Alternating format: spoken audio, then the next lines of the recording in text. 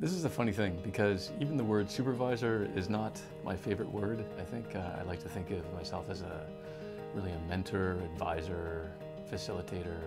I try and have like every single week bring a different physics toy to the class. I had to buy a pair of these when I first came across them. They invert your vision, right? They're not used for anything except just for fun.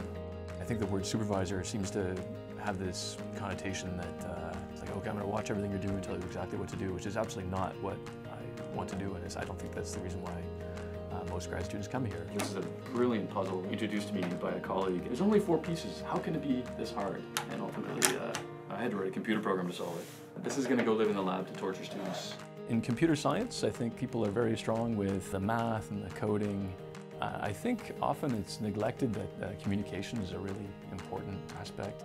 I spend a lot of time trying to help students be the best possible writers they can be, as well as being good storytellers and how they would uh, present these things. Not just uh, written, but also when they're uh, presenting their work at conferences.